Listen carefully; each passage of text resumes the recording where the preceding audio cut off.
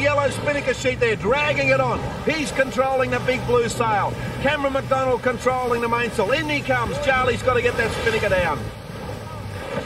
Back on board Oh. And they've got the spinnaker on. Elevache uh, in about eighth place. Let go! They've got... Go.